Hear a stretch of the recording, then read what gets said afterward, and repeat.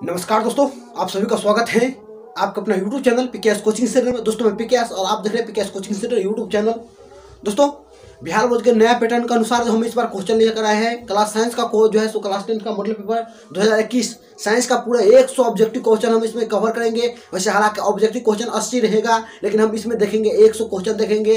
हो सकता है जब वीडियो लंबा भी होगा, ठीक है ना? लगभग लगभग पैंतीस से चालीस मिनट का वीडियो बनेगा।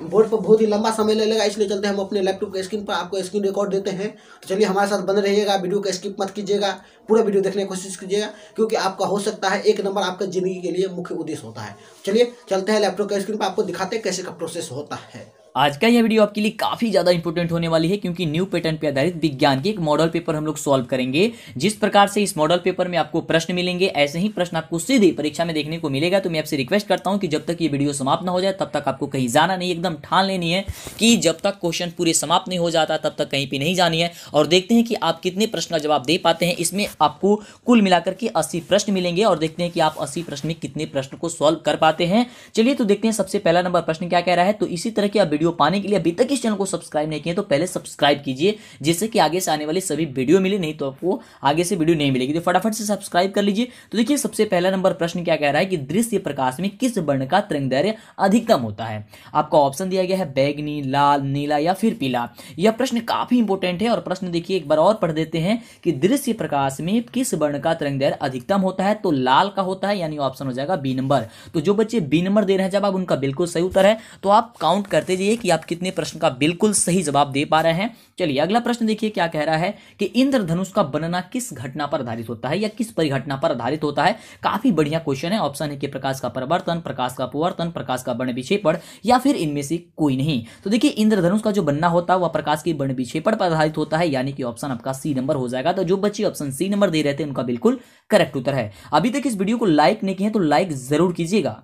अगला देखिए, प्रश्न कह रहा है कि सामान्य मानव के लिए दूर बिंदु कितना होता है? सामान्य मानव के लिए जो दूर बिंदु होता है, वह क्या होता है? आपसे परीक्षा में पूछा जाता है एक दूर बिंदु और एक निकट बिंदु तो देखिए ऑप्शन क्या कह रहा है कि 25 सेंटीमीटर 25 मिलीमीटर 25 मीटर या फिर अनंत। तो देखिए, जब भी आपसे दूर पूछेगा तो आपको अनंत होगा और जब भी आपसे नज़दीक पूछेगा या निकट पूछेगा तो उसमें आपको 25 सेंटीमीटर होगा। तो यहाँ पे दूर पूछ रहा था इसलिए इसका उत्तर हो जाएगा ऑप्शन डी नंबर।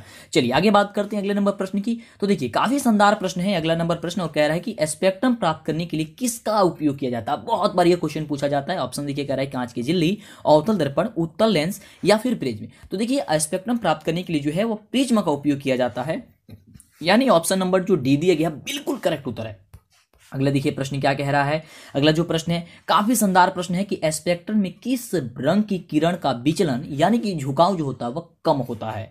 अगला ऑप्शन कह रहा है कि लाल, हरा, पीला या फिर बैगनी। तो देखिए, क्या कह रहा है क्वेश्चन स्पेक्ट्रम में किस रंग की या किस किरण की किस रंग की किरण का जो झुकाव होता है, वह कम होता है? तो वह होता है किसका? लाल का, है ना? वो लाल का जो झुकाव होता है, वह कम होता है है ना? इसलिए हो जाएगा ऑप्शन ए नंबर अगला देखिए प्रश्न क्या कह रहा है, काफ़ी इंपोर्टेंट क्वेश्चन है और क्वेश्चन कह रहा है कि हमारे शरीर में पीएच कितने प्रास के बीच कार्य करता है? जो हमारे शरीर होता है, हमारा जो शरीर होता है, वो पीएच कितने प्रास के बीच कार्य करता है? ऑप्शन देखिए कह रहा है कि 6.0 से लेकर के 6.8 के बीच, या फिर 7.0 से लेकर के 7.8 या 2.1 से लेकर के 3.8 या 5.1 से लेकर के 5.8 तो इसका बिल्कुल जो करेक्ट उत्तर हो जाएगा वह क्या हो जाएगा? ऑप्शन बी नंबर की सेवन दशमलव, यानी कि सात से लेकर के सात के बीच कार्य करता बिल्कुल याद करके रखिएगा। तो फटाफट जवाब देते रहिए और लाइक कर दीजिए। पहले अभी तक लाइक नहीं किया है तो। नंबर प्रश्न कह रहा है कि बेकिंग पाउडर का अणुसूत्र क्या होता है? काफ़ी इंपोर्टेंट क्वेश्चन है बेकिंग पाउडर तो बेकिंग पाउडर का अणुसूत्र क्या होता है? फटाफट बताइए। देखिए ऑप्शन कह रहा है कि N A two C O three C A C O three N A S C O three या फिर N A N O three तो देखिए बेकिंग पाउडर का जो सूत्र होता है, वह क्या होता है जी? तो होता है N A H C O three होता है। तो ये याद करके रखिएगा। बहुत बार ये देखा जाता है, आपकी परीक्षा में पूछा जाता है। तो जो बच्चे ऑप्शन सी दे रहे थे, उनका बिल्कुल करेक्ट उत्तर है। आप काउंट करते जाइए कि आप कितने प्रश्न का उत्तर सही दे पा रहे हैं। अगला देखिए प्रश्न कह रहा है कि निम्नलिखित में कौन विजातीय यौगिक है। विजातीय खाने का मतलब क्या हो गया कि कौन जो है इसमें से अलग है? चार ऑप्शन में से। तो देखिए, यहाँ पे चुना, पत्थर, खगड़िया और संगमरमर जो दिया गया है, वो तीनों एक ही है। लेकिन यहाँ पे जो प्लास्टर और पेरिस दिया गया है, वो अलग है, यानी कि यही आपका विजातीय हो जाएगा। तो ऑप्शन जिसका भी डी है, उनका बिल्कुल करेक्ट उत्तर है। आगे बात करते हैं अगले नंबर प्रश्न की।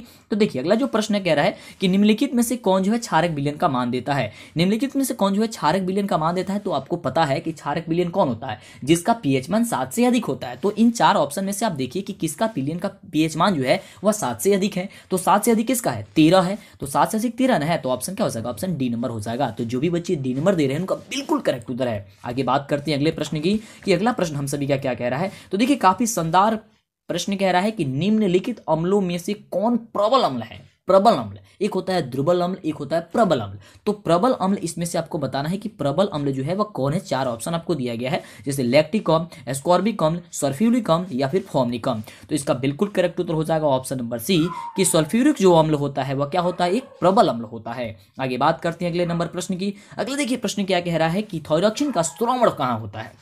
जो थोरक्सिन का श्रवण होता है, कहाँ होता है? थायराइड से, यकृत से, ब्रिक से, या फिर वृषण से। थोरक्सिन का तो थोरक्सिन का जो श्रवण होता है कहाँ से होता है बाबू? ऑप्शन ए हो जाएगा थायराइड से होता है। तो जितने बच्चे का ऑप्शन ए आ रहा था वह बिल्कुल करेक्ट उत्तर है कि थायराइड से होता है। ओके, चलिए तो चैनल को सब्सक्राइब कर लीजिए, जो बच्चे नहीं किए हैं, नहीं तो फिर आगे से आपको वीडियो नहीं मिल पाएगी और काफ़ी कम समय आपके पास बचा हुआ है। अगला प्रश्न कह रहा है कि विद्युत का कौन विद्युत का सर्वोत्तम चालक होता है? चालक होता है, यानी कि सुचालक होता है। कौन विद्युत का सर्वोत्तम सुचालक होता है? आपका ऑप्शन देखिए कह रहा है कि सी U A ji A L या फिर एफ़ ई यानी कि ऑप्शन ए नंबर का रहा है कॉपर सिल्वर एल्यूमिनियम या फिर आयरन तो क्या होता है? सिल्वर होता है, यानी कि एजी होता है। तो एजी क्या होता है? काफ़ी बढ़िया जो होता है वह सुचालक होता है ना? तो इसलिए क्या हो जाएगा? एजी आपका आंसर हो जाएगा सिल्वर आगे बात करते हैं अगला प्रश्न की। तो देखिए, अगला प्रश्न कह रहा है, काफ़ी बढ़िया प्रश्न है, और प्रश्न कह रहा है कि जल की अस्थायी कठोरता को हटाने के लिए किसका उपयोग किया जाता है? जल की अस्थायी कठोरता को दूर करने के लिए किसका उपयोग किया जाता है? बेकिंग सोडा का, धोने का सोडा का व्यंजक चूर्ण का, या फिर इनमें से कोई नहीं। किसका उपयोग किया जाता है? तो बिल्कुल, इसका करेक्ट जो उत्तर हो जाएगा, क्या हो जाएगा? जल की अस्थायी कठोरता को हटाने के लिए किसका प्रयोग किया जाता है बाबू? तो किया जाता है धोने का सोडा का। तो ऑप्शन हो जाएगा बी नंबर और हाँ एक चीज़, जिन भी बच्चों को अगर धोने का सोडा का बिल्कुल करेक्ट उत्तर पता होगा अणुसूत्र, यानी कि इसका सूत्र जो होता है, वो क्या होता है, वो हमें नीचे कमेंट करके बताएँगे।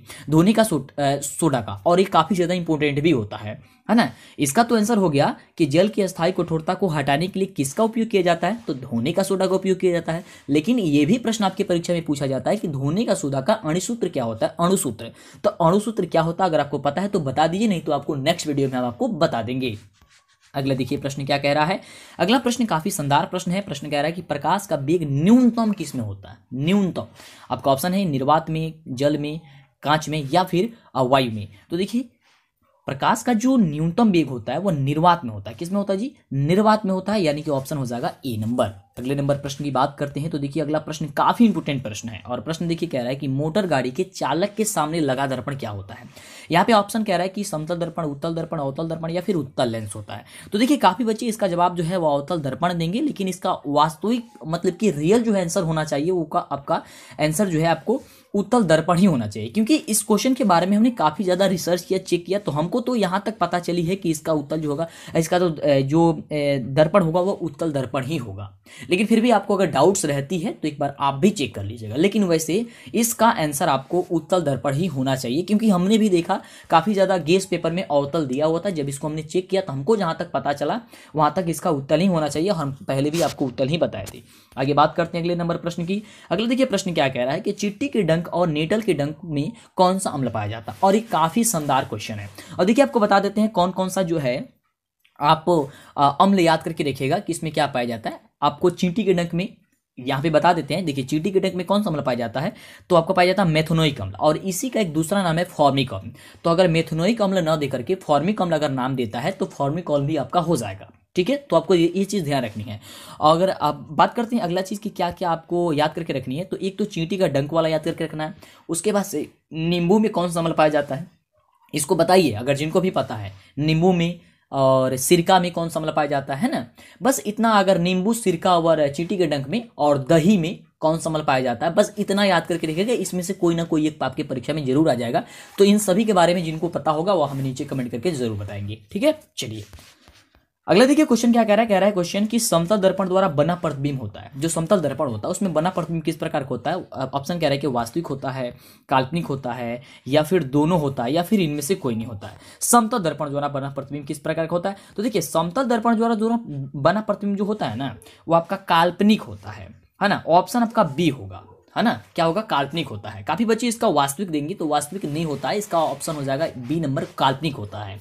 अगले देखिए प्रश्न क्या कह रहा है? अगला जो प्रश्न हमसे भी क्या कह रहा है कि दांतों का क्षय कब प्रारंभ होता है? दांतों का जो क्षय होता है, वो कब प्रारंभ होता है? ऑप्शन कह रहा है कि मुँह का पीएच 5.5 से अधिक होने पर या मुँह का पीएच 5.5 से कम होने पर या मुँह का पीएच सात से सात होने पर या फिर इनमें से कोई नहीं। तो देखिए, दांतों का जो क्षय प्रारंभ हो जाता है, वह मुँह का पीएच मान जो है 5.5 से कम हो जाता है तो होना शुरू हो जाता है, यानी कि ऑप्शन हो जाएगा बी नंबर ठीक है?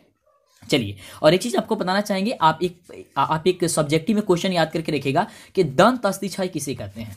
जिन बच्चों को पता है, वो आप हमें नीचे कमेंट करके बता दीजिएगा कि दंत अस्थिक्षय किसे कहा जाता है। और दंत अस्थिक्षय काफ़ी ज़्यादा इंपॉर्टेंट है आपके एग्ज़ाम के लिए तो इसे आप ज़रूर पढ़ लीजिएगा, ठीक है? चलिए, आगे बात करते हैं अगले प्रश्न की। अगला जो प्रश्न कह रहा है कि निम्नलिखित में से कौन मानव में मानव में मादा जनन तंत्र का भाग नहीं है? यानी कि जो चार ऑप्शन आपको दिया गया, इसमें से कौन जो है वह मादा जनन तंत्र का भाग है ही नहीं। आपका ऑप्शन देखिए, कह रहा है कि अंडाशय। अंडाशय के बारे में पढ़े होंगे, गर्भाशय। गर्भाशय के बारे में पढ़े होंगे, शुक्रवाहिका।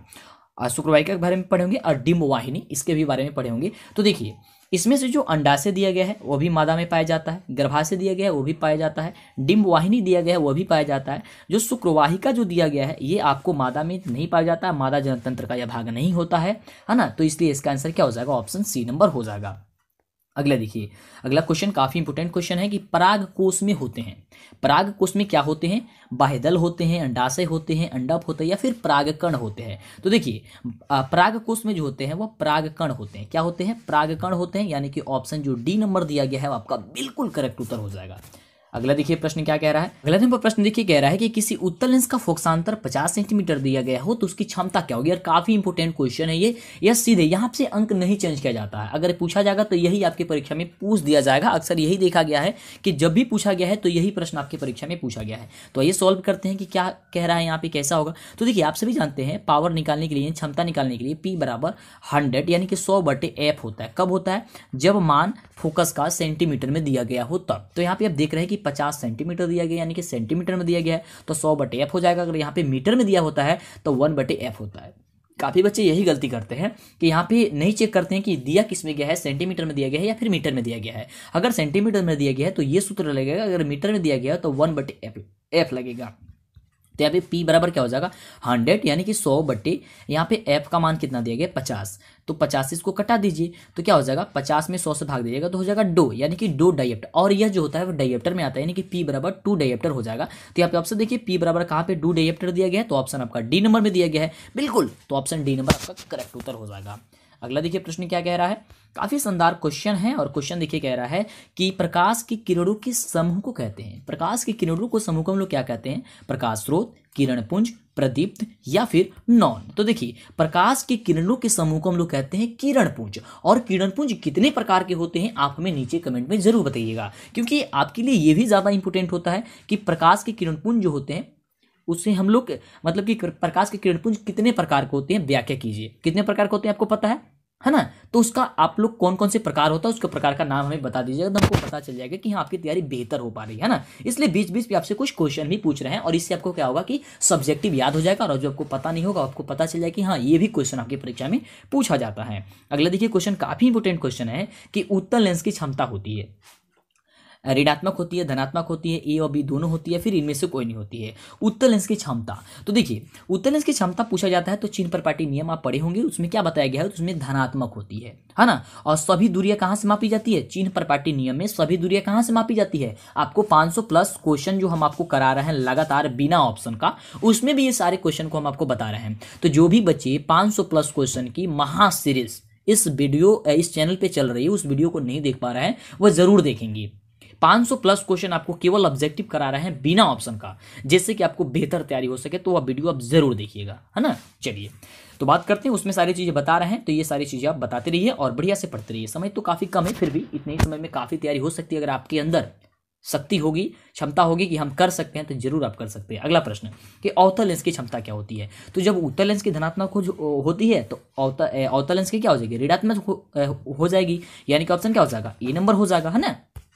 चलिए, अगला क्वेश्चन देखिए, काफ़ी इंपोर्टेंट क्वेश्चन है और क्वेश्चन देखिए कह रहा है कि उत्तर लेंस को कहते हैं। उत्तर लेंस को हम लोग क्या कहते हैं? अरे ऑप्शन में क्या दिया गया है? पहले तो ऑप्शन हम लोग जाना है। तो ऑप्शन दिया गया है अभिसारी कहते हैं या फिर द्वि द्वि उत्तल लेंस कहते हैं या फिर औपसारी कहते हैं या फिर इनमें से कोई नहीं, क्या कहते हैं?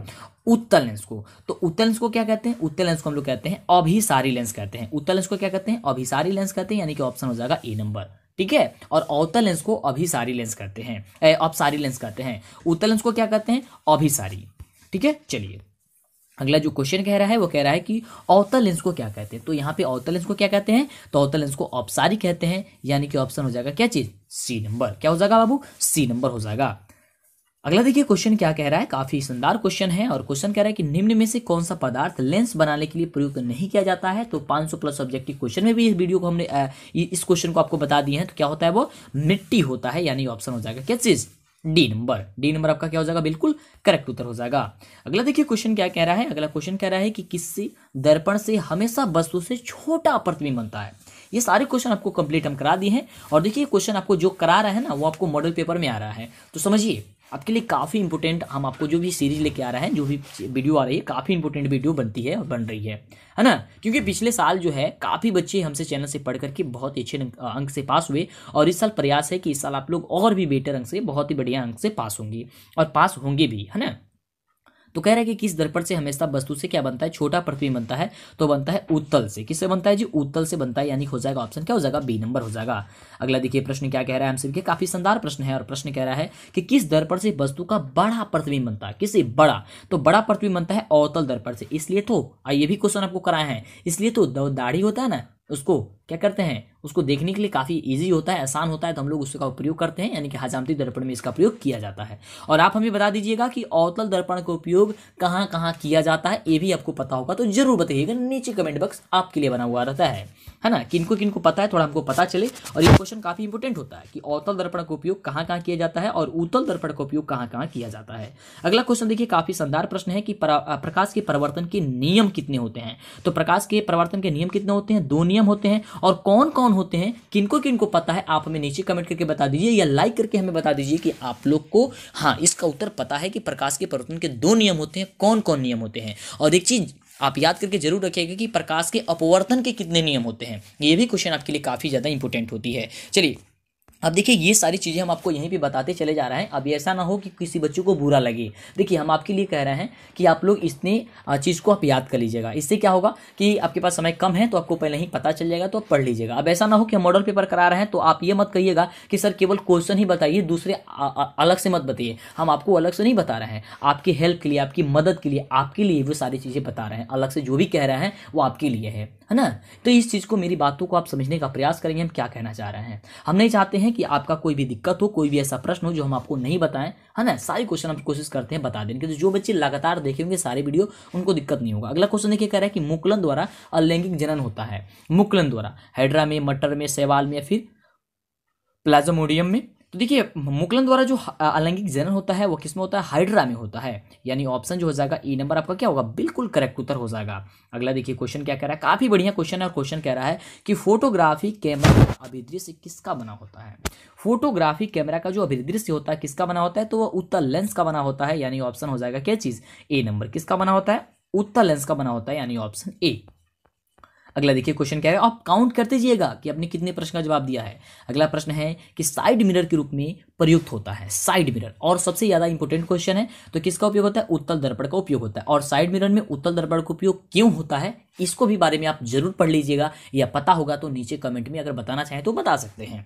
अगला देखिए, प्रश्न क्या कह रहा है? अगला जो प्रश्न हम सभी का काफ़ी इंपॉर्टेंट क्वेश्चन है और क्वेश्चन कह रहा है कि एक अवतल दर्पण की फोकस दूरी 10 सेंटीमीटर दी गई है तो उसकी त्रिज्या, उसकी वक्रता त्रिज्या क्या होगी? तो आप सभी जानते हैं कि f बराबर क्या होता है?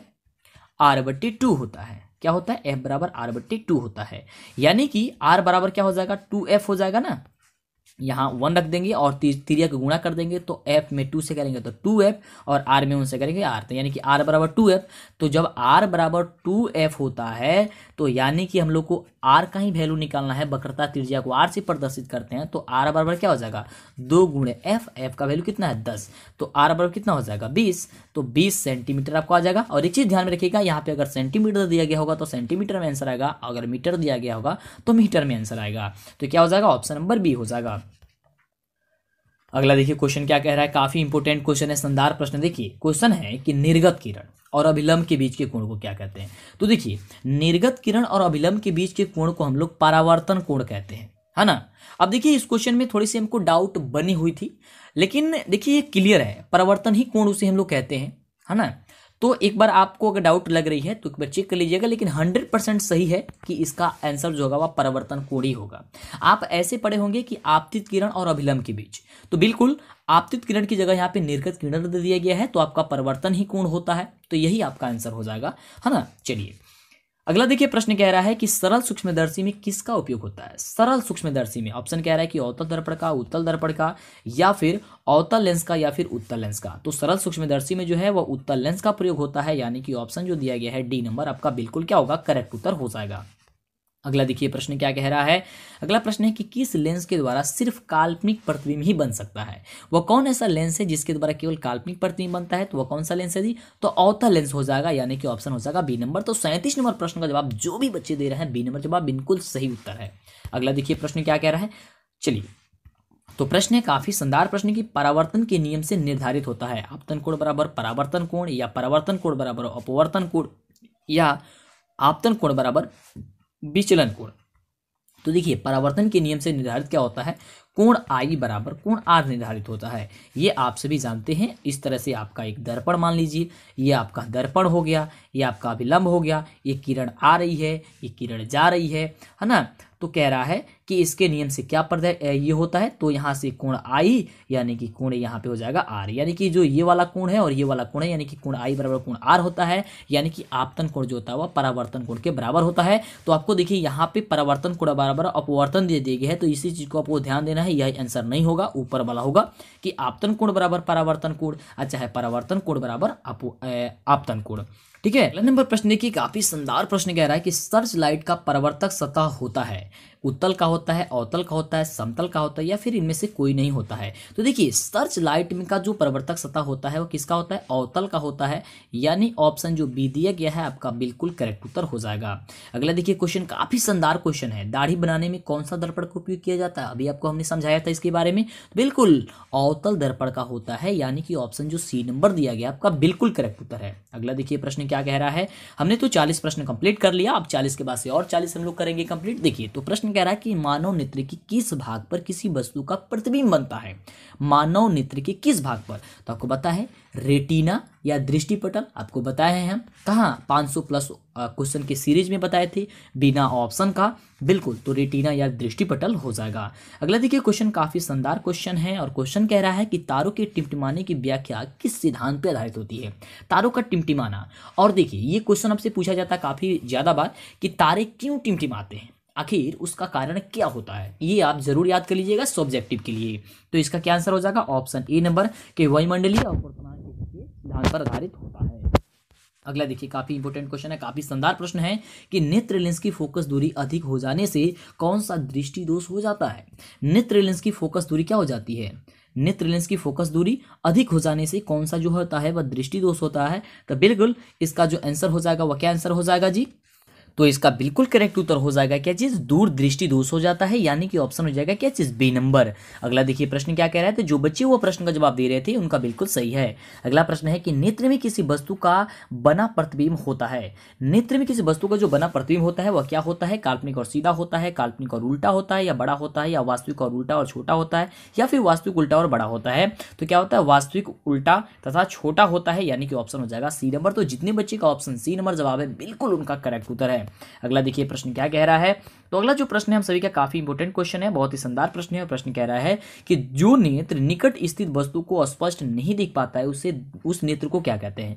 जो निकट है, उसे नहीं देख पाता है और दूर को साफ़ साफ़ देखता है। यानी कि दूर को साफ़ साफ़ देखता है तो दूरदृष्टि दोष हो गया है, यानी कि क्या हो जाएगा? ऑप्शन नंबर ए हो जाएगा। है ना? चलिए, क्या हो जाएगा? ऑप्शन ए नंबर हो जाएगा तो जितने बच्चे ए नंबर दे रहे थे, बिल्कुल करेक्ट उत्तर है। अगला देखिए, काफ़ी शानदार क्वेश्चन है और क्वेश्चन कह रहा है कि श्वेत प्रकाश की किरण जब किसी प्रिज्म से होकर के गुजरती है, तब जो बर्ण यानी कि सबसे अधिक जो विचलित हो जाता है, जो रंग, यानी कि बर्ण जो विचलित हो जाता है, वह क्या है? तो सबसे ज़्यादा विचलित कौन होता है? बैगनी होता है ना? तो ऑप्शन हो जाएगा क्या चीज़? सी नंबर लाल तो विचलित होता नहीं है, सबसे ज़्यादा विचलित होता है क्या चीज़? ऑप्शन सी यानी कि बैगनी। अगला देखिए, प्रश्न क्या कह रहा है कि अपने लेंस की फोकस दूरी बदल करके दूर या निकट वस्तु को साफ़ साफ़ देख सकने वाले गुण को हम लोग क्या कहते हैं?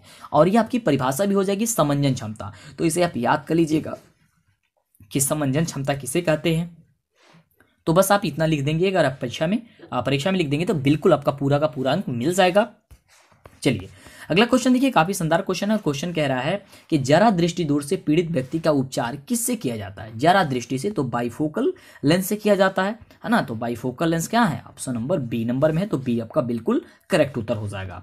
अगला देखिए, प्रश्न कह रहा है, काफ़ी इंपोर्टेंट और शानदार क्वेश्चन है। और क्वेश्चन कह रहा है कि लोहा को जिंक से लेपित करने की क्रिया को हम लोग क्या कहते हैं? तो देखिए, लोहा को जिंक से लेपित करने की क्रिया को हम लोग कहते हैं गैल्वेनीकरण यानी कि ऑप्शन हो जाएगा बी नंबर अगला देखिए, प्रश्न काफ़ी शानदार प्रश्न है और प्रश्न कह रहा है कि निम्नलिखित में से कौन एक दहन अभिक्रिया है? दहन अभिक्रिया कौन है? तो पेट्रोल का जलना, ये काफ़ी बार हमने आपको बताया है तो बिल्कुल आपका सी नंबर अब सही हो जाएगा। अगला देखिए, क्वेश्चन काफ़ी इंपोर्टेंट क्वेश्चन है। फटाफट जवाब देते रहिए, कह रहा है प्रश्न के श्वसन किस प्रकार की अभिक्रिया है? फटाफट बताइए, श्वसन किस प्रकार की अभिक्रिया है? तो यह एक प्रकार की उष्मा छेपी अभिक्रिया है। तो उष्मा छेपी आपका आंसर हो जाएगा उष्मा छेपी और उष्मा छेपी अभिक्रिया जो होता है, वह क्यों? मतलब कि श्वसन को उष्मा छेपी अभिक्रिया क्यों कहते हैं? ये भी आप याद करके ज़रूर रखिएगा। आपका पहला ही चैप्टर का एक क्वेश्चन है केमिस्ट्री का।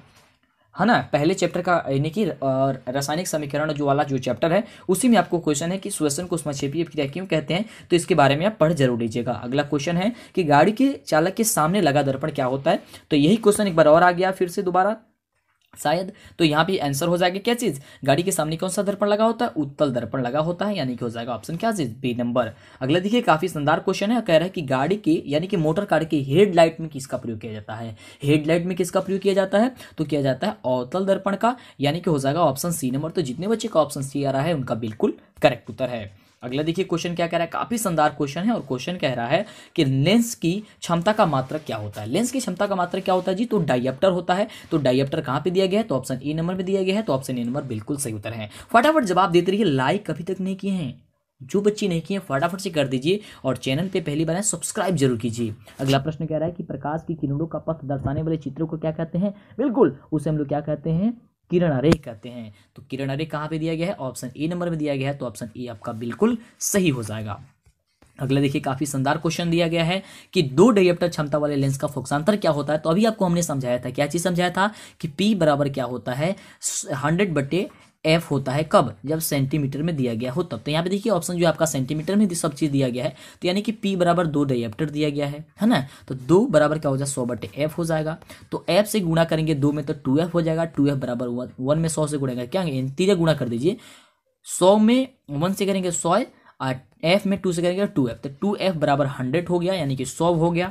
है ना? तो एफ़ बराबर क्या हो जाएगा? सौ बट्टी टू हो जाएगा। तो कटिएगा तो क्या होगा? पचास हो जाएगा। यानी कि पचास सेंटीमीटर हो जाएगा तो पचास सेंटीमीटर देखिए कहाँ पर दिया गया है? ऑप्शन नंबर डी में दिया गया है। तो ऑप्शन नंबर डी आपका बिल्कुल करेक्ट हो जाएगा। अगला नंबर प्रश्न देखिए, क्या कह रहा है कि एल्किन का सामान्य सूत्र क्या होता है? काफ़ी इंपोर्टेंट क्वेश्चन है कि एल्किन का सामान्य सूत्र क्या होता है? देखिए, यह एल्किन एल्किन और एल्काइन होता है, ये तीन होता है। या तीनों काफ़ी ज़्यादा इंपोर्टेंट होता है। किसी न किसी साल या इसमें से तीनों में से पूछ ही दिया जाता है। तो एल्किन का सामान्य सूत्र होता है C N H two N plus two होता है। है ना? C N H two N plus two होता है तो इसे आपको टिक कर देनी होगी, जहाँ पे भी आएगा तो। अगला देखिए, अगला क्या कह रहा है? और देखिए, आपको समझा देते हैं कि अगर एल्केन देखिए, यहाँ पे एक होता है एल्केन एक होता है एल्कीन और एक होता है एल्काइन एल्कीन होता है और एक होता है अल्काइन अल्काइन है ना? ये तीन होता है। तो जब भी आपको एल्कीन पूछेगा तो टू वाले बताना है, यानी कि C N H two N plus two बताना है। ठीक है? जब भी एल्किन पूछेगा तो C N H two N बोलना है। और जब भी एल्काइन बोलेगा, यानी अल्काइन तो C N H two N minus का टू बताना है। यानी कि दो जोड़ दो दो छोड़ दो दो घाटा दो। ये आप याद करके रखिएगा। दो जोड़ दो दो छोड़ दो दो घटा दो। है ना? यानी कि अगर एल्केन पूछेगा तो C N H two N में दो जोड़ देनी है। अगर एल्किन पूछना, पूछेगा तो C N H two N में दो को भगा देना है, हटा देना है उसको। और अगर अल्काइन पूछेगा तो C N H two N में माइनस टू कर देना है। C N H two N अब माइनस टू कर देना है। ठीक है? कि आपका सूत्र हो जाएगा। तो तीनों समझ में आ गया होगा। चलिए तो आप गलती नहीं कीजिएगा। अगला देखिए क्वेश्चन क्या कह रहा है? कौन सा पादप नियंत्रक फल बेचने वालों द्वारा उपयोग किया जाता है? ऑप्शन क्या है कि एफसीसिक एसिड जिब्रेलिन इथलाइन या फिर ऑक्जीन तो इसका किया किसका किया जाता है? इथलाइन के किया जाता है, यानी कि ऑप्शन हो जाएगा क्या? चीज़ सी नंबर है ना? चलिए, ये आपको एथाइलिन लिखेगा, ठीक है, परीक्षा में। यहाँ पे इथाइलिन नहीं होता है, एथाइलिन होता है। यहाँ पे ए होगा, यहाँ पे ई की जगह, है ना? तो एथाइलिन अच्छा इथाइलिन जो दोनों में से जो कोई भी अगर ऑप्शन देता है, आपको टिक कर देनी है, यानी कि गोला लगा देनी है। अगले देखिए क्वेश्चन क्या कह रहा है? काफ़ी शानदार प्रश्न है। कि तांबा और जिंक की मिश्र धातु को कहते हैं। तांबा और जिंक की मिश्र धातु को क्या कहते हैं? पीतल कहते हैं, कांसा कहते हैं, टाका कहते हैं या फिर स्टील कहते हैं। तो देखिए, तांबा और जिंक की मिश्र धातु को हम लोग क्या कहते हैं? पीतल कहते हैं, यानी कि ऑप्शन हो जाएगा ए नंबर तो जो बच्चे ऑप्शन ए नंबर दे रहे हैं, उनका बिल्कुल करेक्ट उत्तर है। अगला प्रश्न देखिए, क्या कह रहा है? कह रहा है प्रश्न कि अम्लीय बिलन का पीएच मान क्या होता है? तो अम्लीय बिलन का जो पीएच मान होता है, वह सात से क्या होता है? कम होता है। तो सात से कम कहाँ पे ऑप्शन दिया गया? ऑप्शन सी नंबर में दिया गया। तो ऑप्शन सी आपका सही हो जाएगा। अगला देखिए प्रश्न क्या कह रहा है? अगला जो प्रश्न है, वह प्रश्न कह रहा है कि स्पष्ट दृष्टि की न्यूनतम दूरी कितनी होती है? न्यूनतम दूरी कितनी होती है जी? तो 25 सेंटीमीटर होती है। कितनी होती है? 25 सेंटीमीटर होती है तो 25 सेंटीमीटर में आपको यहाँ पे टिक कर देनी है। किस पे कर देनी है? टिक, ऑप्शन ए पे। अगला देखिए क्वेश्चन, काफ़ी शानदार क्वेश्चन है। यहाँ पे देखिए काफ़ी बच्चे इसका उत्तर गलत दे पाएँगे। देखिए क्वेश्चन कह रहा है कि एक प्रकाश किरण समतल दर्पण पर लंबोत आपतित होती है तो परिवर्तन कोण का मान कितना होगा? समतल दर्पण पर लंबोत आपतित होती है। तो जब लंबोत आपतित होगी तो यहाँ पे ज़ीरो डिग्री वैल्यू होगा। काफ़ी बच्चे कहेंगे, सर, नब्बे डिग्री होगा। कैसे होगा? ध्यान ध्यान से देखिए, ज़ीरो डिग्री कैसे होगा? यहाँ पे एक, मान लीजिए, समतल दर्पण हो गया। ये आपका अविलंब हो गया, है ना? और ये आपका आपतित किरण हो गया, ये आपका परिवर्तित किरण हो गया, यानी कि जाने वाला किरण हो गया। ठीक है? ये कह रहा है क्वेश्चन में कि प्रकाश किरण समतल दर्पण पर लंबोत आपतित होती है है ना? तो लंबोत आपतित होती है, इसका मतलब हो गया कि यह अविलंब पे ही आएगी। लंबवत तो जब अविलंब पे ही आएगी तो अगर जब अभिलंब पे आती है तो इसका मतलब कि फिर वो वापस ही चली जाएगी। माने अगर आ रही है तो चली जाएगी ना उसी तरह से, क्योंकि आपको पता है कि आपतन कोड, परिवर्तन कोड तब बनते हैं, यहाँ से मान लीजिए कि आपतित किरण ये वाला आ रही है। सपोज़ मानिए ये वाला वन सेकेंड देखिए, ध्यान से समझ लीजिए इसके बारे में। ये आपका दर्पण हो गया, ठीक है? चलिए, ये आपका अभिलंब हो गया। अगर आपतित किरण यहाँ से आ रही है और यहाँ आपको चली जाएगी तो आपका जो होगा वह क्या वो आप तो आपका जो क्या होगा, यहाँ पे जो होगा, वो आपका आपतन कोण बनेगा और यहाँ पे आपका परिवर्तन कोण बनेगा, ठीक है? लेकिन यहाँ पे जो प्रश्न कह रहा है, ध्यान से समझिए, ये आपका दर्पण हो गया और यहाँ पे जो कह रहा है कि जो किरण आ रही है, वो आपको लंबवत आ रही है। किस पे आ रही है? एकदम ये लंबवत आ रही तो लंबवत आने का मतलब हो गया कि इसी पे आ रही है। तो जब अभिलंब पे ही आएगी तो अभिलंब से ही चली जाएगी। तो जब अभिलंब पे आएगी और चली जाएगी तो इसके बीच कोण बनेगा ही नहीं। तो इसका मतलब ज़ीरो डिग्री हो जाएगा ना। तो इसका क्या हो जाएगा? आंसर ज़ीरो डिग्री हो जाएगा। काफ़ी जगह इसका नब्बे दिया गया होगा। तो नब्बे नहीं होगा, आपका ज़ीरो डिग्री ही होगा। ओके, चलिए। अगला प्रश्न देखिए, क्या कह रहा है? काफ़ी इंपोर्टेंट क्वेश्चन है और क्वेश्चन कह रहा है कि लेंस में कितने मुख्य फोकस होते हैं? तो लेंस में मुख्य फोकसों की संख्या कितनी होती है? दो होती है। तो याद करके रखिएगा कि लेंस में दो मुख्य फोकस होते हैं। अगला देखिए प्रश्न क्या कह रहा है? कि कार्बन की संयोजकता क्या होती है? दो होती है, चार होती है छः होती है, बारह होती है। तो कार्बन की जो संयोजकता होती है, वह चार होती है, इसे आप याद करके ज़रूर रखिएगा कि कार्बन की संयोजकता चार होती है।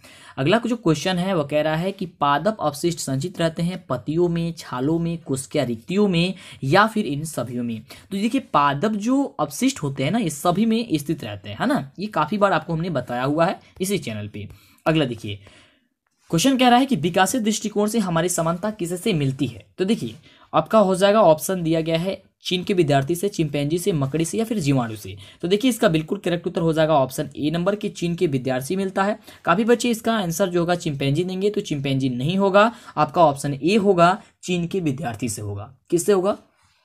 चीन के विद्यार्थी से होगा। हाँ इसका बिल्कुल उत्तर हो जाएगा ऑप्शन ए नंबर ठीक है?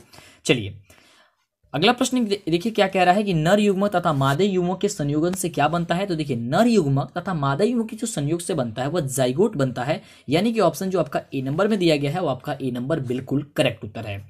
अगला प्रश्न देखिए क्या कह रहा है।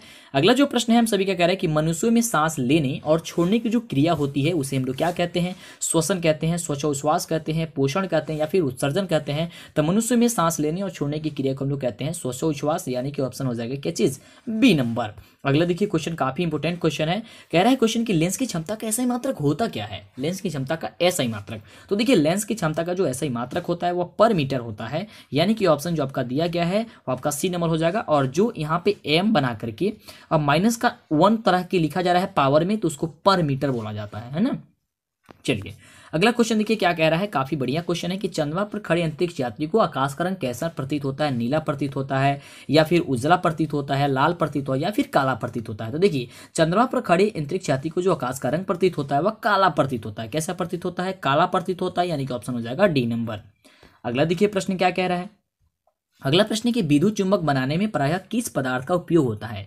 विद्युत चुंबक बनाने में। तो विद्युत चुंबक बनाने में आपको सभी कोई को पता है कि नरम लोहा का प्रयोग किया जाता है? तो ऑप्शन क्या हो जाएगा? ए नंबर आपका करेक्ट हो जाएगा। अगला नंबर प्रश्न देखिए क्या कह रहा है। अगला जो प्रश्न है, हम सभी का कह रहा है कि आवर्त सारणी में कितने वर्ग होते हैं? एक, सात वर्ग होते हैं, नौ वर्ग होते हैं आठ वर्ग होते हैं या फिर अट्ठारह वर्ग होते हैं? तो आवर्त सारणी में जो है, वो अट्ठारह वर्ग होते हैं, यानी कि ऑप्शन जो हो जाएगा, वो डी नंबर आपका बिल्कुल क्या है? करेक्ट उत्तर है। अगला देखिए प्रश्न क्या कह रहा है हम सभी का कि जल का पीएच मान कितना होता है? सात होता है या पाँच होता है, आठ होता है या तीन होता है? तो जल का पीएच मान आप सभी को पता है कि सात होता है तो सात जहाँ पे भी दिया गया होगा, बिल्कुल सही उत्तर हो जाएगा। तो जो बच्चे ऑप्शन बी नंबर दे रहे हैं, इसका बिल्कुल सही है। अगला देखिए, काफ़ी क्वेश्चन इंपॉर्टेंट है कि किसी पदार्थ से ऑक्सीजन का निष्कासन क्या कहलाता है? किसी पदार्थ से ऑक्सीजन का निष्कासन क्या कहलाता है? ऑक्सीकरण कहलाता है, अवकरण कहलाता है संचारण कहलाता है या इनमें से कोई नहीं कहलाता है तो किसी पदार्थ से ऑक्सीजन का जो निष्कासन कहलाता है, वह क्या कहलाता है बाबू? बिल्कुल तो अवकरण कहलाता है, आपका ऑप्शन हो जाएगा बी नंबर अगला देखिए, प्रश्न क्या कह रहा है? काफ़ी बढ़िया प्रश्न है, और प्रश्न कह रहा है कि वन परिस्थिति तंत्र में जो होते हैं, हिरण, वो क्या होते हैं? उत्पाद होते हैं उत्पादक होते हैं प्राथमिक उपभोक्ता होते हैं, द्वितीय उपभोक्ता होते हैं या फिर तृतीय उपभोक्ता होते हैं तो वन परिस्थितिकी तंत्र में जो हिरण होते हैं, वो कौन से उपभोक्ता होते हैं? तो वह होते हैं आपको प्राथमिक उपभोक्ता होते हैं, यानी कि ऑप्शन हो जाएगा बी नंबर तो जो बच्चे बी नंबर हैं, बिल्कुल उनका करेक्ट उत्तर है। अगला देखिए, प्रश्न कह रहा है, काफ़ी इंपोर्टेंट कि इसमें से किसके द्वारा अमीबा भोजन का अंतग्रहण करता है? उत्पाद के द्वारा, परिवहन के द्वारा, भोजन रसदानी के द्वारा या फिर केंद्र के द्वारा? तो देखिए, जो अमीबा होती है, वह भोजन रसदानी के द्वारा करता है, यानी कि ऑप्शन क्या हो जाएगा? सी नंबर हो जाएगा। अगला देखिए क्वेश्चन सेकंड लास्ट क्वेश्चन है, काफ़ी इंपोर्टेंट क्वेश्चन है कि आयोडीन की कमी से कौन सा रोग होता है बाबू? तो आयोडीन की कमी से आपको होता है घेंगा रोग। तो यानी कि घेंगा रोग आपका जो ऑप्शन डी नंबर दिया गया है, आपका बिल्कुल करेक्ट उत्तर हो जाएगा। और यह रहा लास्ट क्वेश्चन लेकिन इसके पहले अभी तक लाइक नहीं किए तो प्लीज़ लाइक ज़रूर कीजिएगा, जिससे मेरा मनोबल बढ़े। आपके लिए ऐसे ही हम काम करते रहें, बढ़िया से आपका सपोर्ट करते रहें। और आप भी हमारा सपोर्ट करते रहिए लाइक करके और चैनल को सब्सक्राइब नहीं किए तो कर लीजिए, जिससे कि आगे से आपको वीडियो मिले। और हाँ अभी तक आप हम क्या कह रहा है कि कुछ जुगाली कुछ जानवर जुगाली करते हैं। किस लिए जुगाली करते हैं बाबू? तो भोजन को पचाने के लिए करते हैं। यानी ऑप्शन हो जाएगा क्या चीज़? बी नंबर क्या हो जाएगा? बी नंबर और फिर मिलते हैं इसी तरह के मॉडल पेपर के साथ।